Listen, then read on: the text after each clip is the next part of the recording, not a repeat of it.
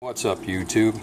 This is Racing1278 just giving you a quick update on hot rodding your Aqueon 75 filter.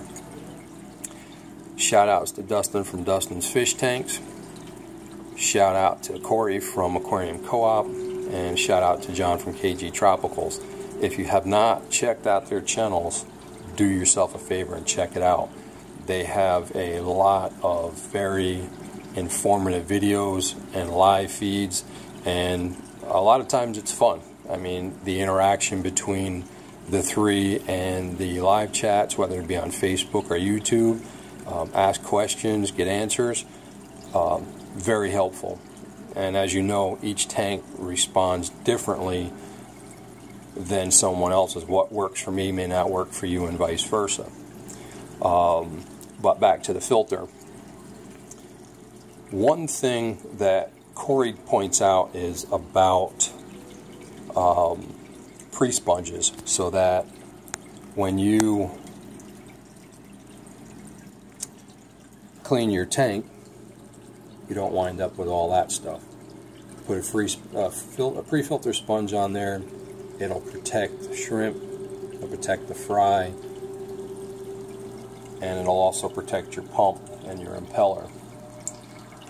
But what I had done was, after this was running for several months, I pulled the motor off, checked the shaft. Shaft was still smooth, wasn't grooved. Clean the impeller, clean the magnet, clean the housing, and just that little bit really quieted this down. But what I did also was I got the Marineland um, filtering pads cut to size, keeping one in that was already established. I took the other, ripped off all that nasty floss because for whatever reason Aqueon's filter is just garbage. It doesn't stand up, it can't be rinsed, it just gets gummy and nasty. So what I did was I cut it and I used the frame in order to recreate their filter. So now I still have the same design with the uh, addition of the floss here to keep that overflow from happening, the bypass happening, and now it flows right through into here. There's duckweed all over because I just got done cleaning. Um, and moving this around. But with this here, it'll actually catch this duckweed, squeeze it, take it out, rinse it out in the tank water, and put it back in, and that saves a lot. Then, once this was established and had bacteria, I did the same thing on this side, but unfortunately I threw away the original filter, so I had an Aquatech filter that I used, and then at that point I just cut it, got rid of all the floss, and then I cut it to fit the tray right here, and I put in the Marineland uh, bonded floss. Definitely made a difference in keeping my water clean. Um, but I took it a step further. Um, just got to get a pre-filter. But what I did was a lot of people tell you that this comb and the plastic is garbage. It doesn't do anything. But in my opinion, it does give an area for beneficial bacteria to grow what I had done was I had checked out somebody else, somebody's video, and they had shown that I guess Aqueon updated this filter. I don't know when it happened, if it happened recently, or if the store was carrying old stock, but for $30 versus $60, $70 for an Aqua Clear 110, I went this way at that point in time. But in the video, they had a sponge that actually fit this tray. So I took that idea and I cut this to fit and I put a sponge in here or the filtering material in here. So as you can see, I have bacteria growing and it's the same principle uh, for those of you who actually fish and do river or stream fishing as the water cascades over the rock you see all this forming on the downstream end of the rock. So I've recreated that here by putting this piece of foam in. Also it's quieted this down and I noticed the first few months that it was established that the holes would clog up and then you get a heavy splashing sound so you'd have to poke something down in there to clean it. Doing it this way it's actually quieted this tank down significantly. Um, very minor hum from the pump. You're hearing more from my air pump than you are hearing from my filter pump. And to me, this really isn't bad noise.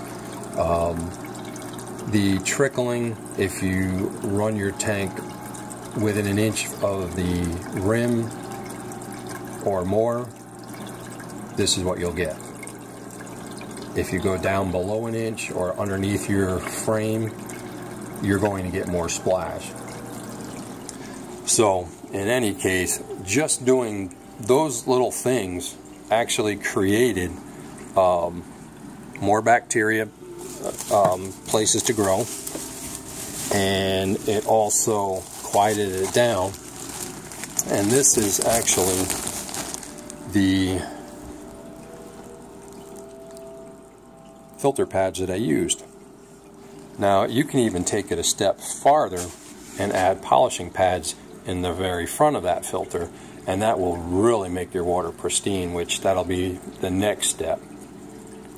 Add the pre-filter sponge that'll protect your fry that'll protect your shrimp and it also increases the filtering capacity of your filter regardless of what filter you have and um, with this tank, because I do have shrimp in there, I do have a ton of fry in here.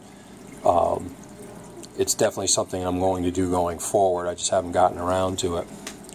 And a way to keep your tank balanced, you know, water changes, testing, um, and planting it heavy. The plants, depending on the plants, whether it's wisteria or um, water sprite, or in my case, duckweed, uh, guppy grass, those absorb nitrates and it just helps your tank stay healthier longer. Sometimes you can stretch a water change out if you have to, if you just don't have the time. Um, and it definitely makes it clear. And it also gives um, your fish a place to rest, it gives them a place to hide. In my case, I have um, this is probably my second or third wave of babies. So they actually are all down under here. I have some fire painted shrimp. I have some yellow shrimp. There may be even a few uh, red cherries still in there. But it's a community tank. I run, um, as you can see, there's some babies in there. I run platies, I run Corys, I run coolies, um, octos, amanos, guppies of all different kinds, um, white clouds, head and tail light tetras, diamond tetras, um, what else do I have in here? uh, neons and cardinals.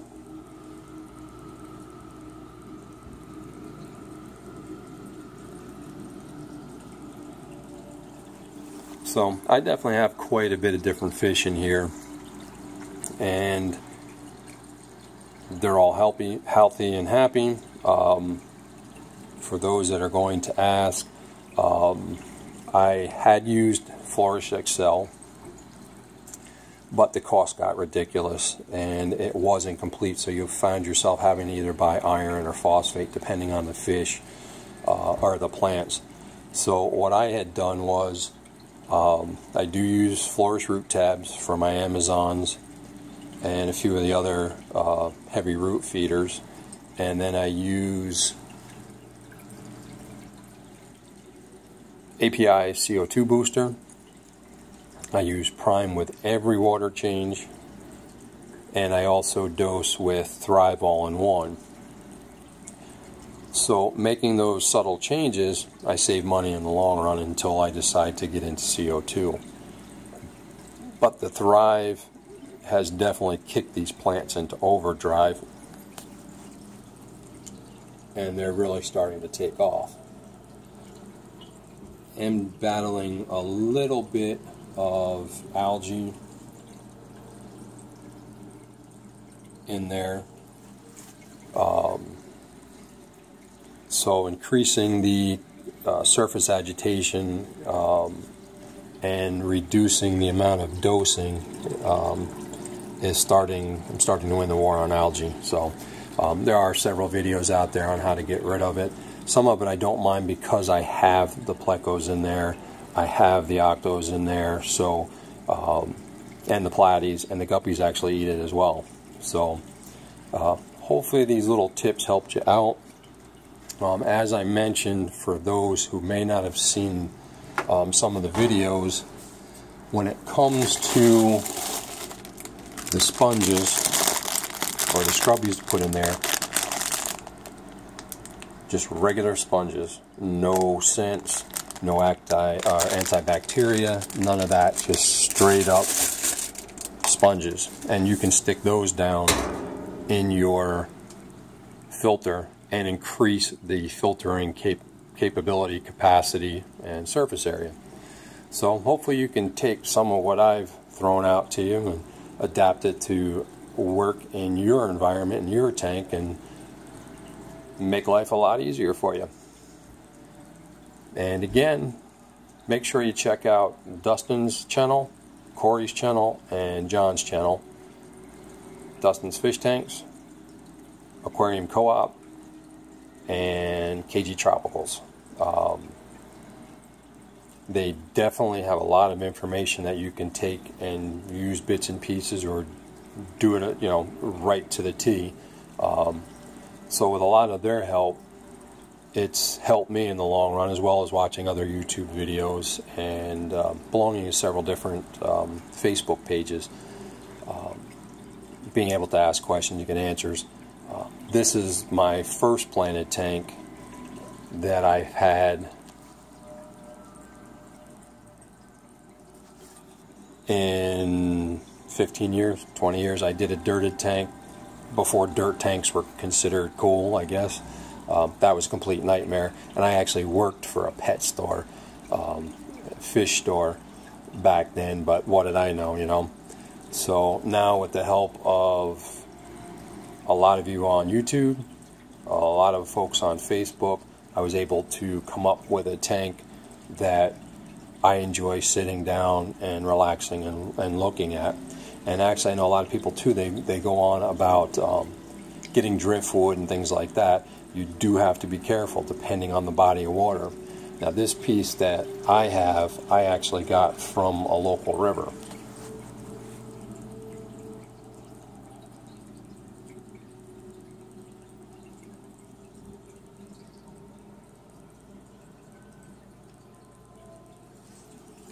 And what was cool about that piece is there's actually rocks that had the root or whatever section this was had grown around, so they're still in there. Um, it took forever to try to get it to become waterlogged. I think it finally is now. I've bumped it a couple times and it hasn't moved. But what I had done, which was dual purpose, was oh, there's one of the coolies hanging out. I took rocks and tied rocks with fishing line around here, and then I took the Java fern and wrapped it around so it had a place to grow. This actually has to come out, it's starting to die. And then on this side, I took a big piece, a rock, and put it on there like it belonged, so it added to the actual aquascape. These are rocks from the river as well.